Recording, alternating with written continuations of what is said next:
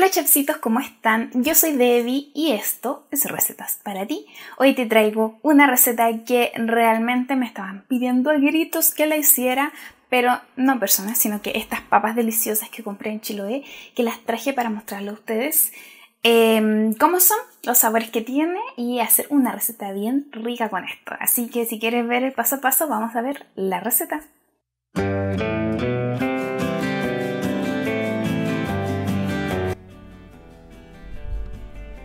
Comencemos chefcitos, hacer papas rústicas muy simple, vas a necesitar más o menos medio kilo de papas, yo tengo aquí papas chilotas, son diferentes tipos, algunas eh, sirven más para hacerlas fritas, otras para hacerlas puré porque son mucho más cremosas, algunas son un poquitito picantes, las de colores morados, así que estas son las que yo voy a ocupar, si tú quieres puedes ocupar las papas que tú quieras, ¿ya? Eh, y lo otro que vamos a hacer es picarlas y tratar de que todas nos queden del mismo porte, porque así la cocción va a ser uniforme. Yo la estoy picando con la mano porque como son de diferentes formas, así tengo mayor control sobre el corte que estoy realizando. Si tú quieres puedes hacer más papa, no necesariamente hacer medio kilo de papa.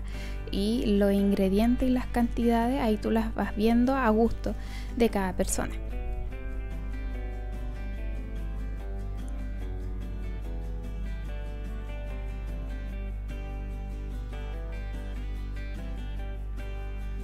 Luego que ya cortamos estas bellísimas papas chilotas, las vamos a poner en agua fría a cocer.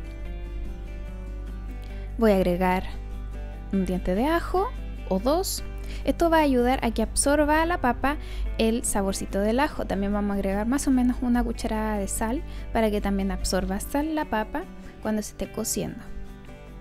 Y la cocinamos a fuego alto 20 minutos, ¿ya? Porque agua fría, porque eh, si la cocemos con agua caliente se pueden desarmar. Entonces desde agua fría las papas no se desarman.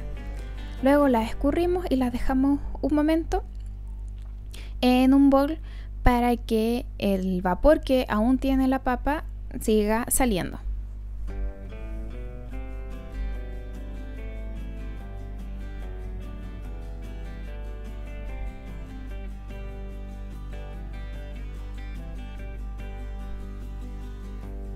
Ahora vamos a tomar una budinera o una lata de tu horno y vamos a agregar bastante aceite y vamos a poner las papas en esta fuente o en la lata. Lo importante es que no quede una sobre otra, sino que quede todas al ras de la superficie. Porque así todas se van a dorar. Si hay una sobre otra no va a alcanzar a dorarse, sino que se va a comenzar a secar solamente. Entonces lo que nosotros queremos es que tomen este color doradito muy lindo. Ahora lo que estoy agregando es orégano tú puedes agregar los ingredientes que quieras, ¿ya? Incluso puedes poner queso, pero al final de la cocción. También voy a agregar merquén, pimienta molida, esta es pimienta negra la que estoy ocupando y voy a revolver todo esto. No le agregamos sal porque ya le agregamos sal al principio y después lo vamos a acompañar de una salsa, así que también no es necesario agregar sal. Vamos a revolver para que queden todas eh, con aceite y ahora vamos a hornear por 30 minutos a fuego alto, 250 grados Celsius. Si hiciste las papas el día anterior, estas van a tener menos agua y quizás se demoren menos. Y así es como van a quedar nuestras ricas papas. De verdad, estas papas están deliciosas. La cáscara ayuda a que la papa no se desarme y a que quede más crujiente. Además que le da un picor súper rico a la papa. Y así es como yo las decoré en el plato. Y ahí te muestro cómo queda la papa.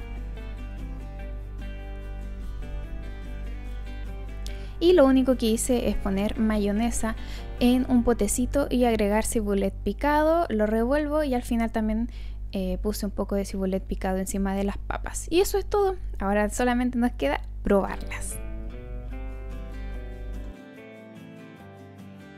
Listo, chefcito, ya viste toda la receta y ahora te voy a mostrar a ver cómo quedaron estas ricas papas.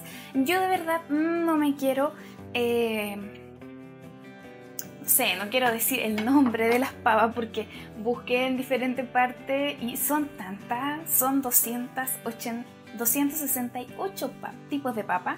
Entonces, em, hay algunas muy parecidas y no me quiero meter en problema. Entonces, aquí te voy a mostrar algunas papitas que me quedaron cocidas. Si tú ya tienes las papas cocidas, es mucho mejor porque así te em, ahorras el tiempo de estar cociéndolas. Y si las tienes de un día para otro, ya va a haber botado bastante agua. Entonces, eh, lo más probable es que en el horno se te demore mucho menos de lo que se demoraron a nosotros. Ya, aquí hay una papa que es clarita. Voy a poner el bol para que no, no me vea yo, sino la papa. Y así es esta papa. Otro tipo de papa, por ejemplo, esta es oscurita.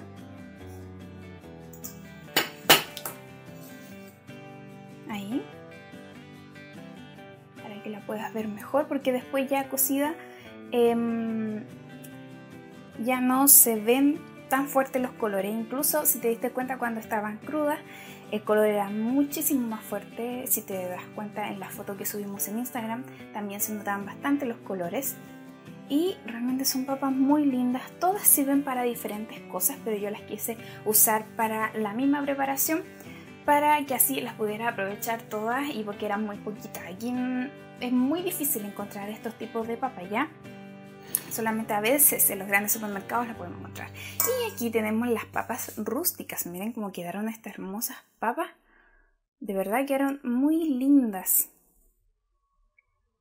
No les puse sal al final de la preparación porque con la mayonesa ya tiene bastante. Quiero que veas esta. Así es como quedan, quedan bien crujientes por fuera. Y tienen que ser con cáscara. Este tipo de papas sobre todo. Porque eh, si no la dejamos con cáscara, pierde sabor porque son rústicas, tienen que ser con cáscara.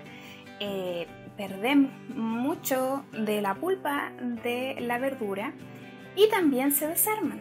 Así que no conviene hacer este tipo de papas sin cáscara. Así que por favor hazla con cáscara y de verdad que te va a sorprender eh, cómo quedan. Mmm, miren. Quedan como unas papas fritas gigantes.